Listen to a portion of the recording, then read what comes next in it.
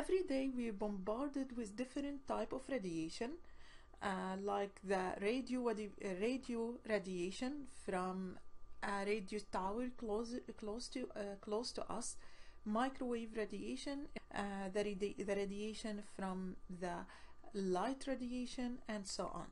And if you look at the different wavelengths display the different radiation displayed in this uh, picture you can see that the difference between uh, between them is the length of that wave.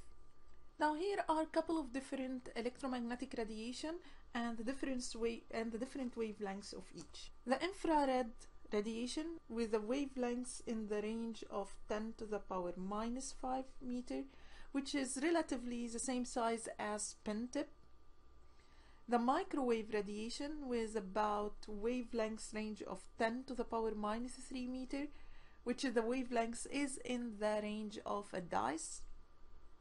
The radio uh, the radio wave or the, the radio radiation which is the FMAM the wavelength is in the range of 10 to the power 3 meter in the range of a mountain.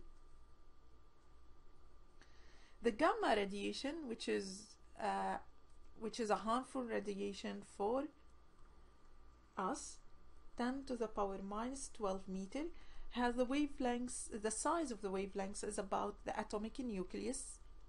The x-ray 10 to the minus 10 meter.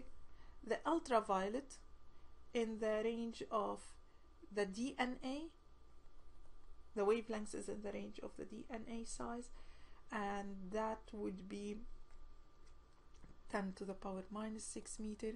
And lastly the visible uh, light which is the light that we can see with our own eyes is in the range of 10 to the minus 6 meter and the same size as a bacteria. Different electromagnetic radiations have different wavelengths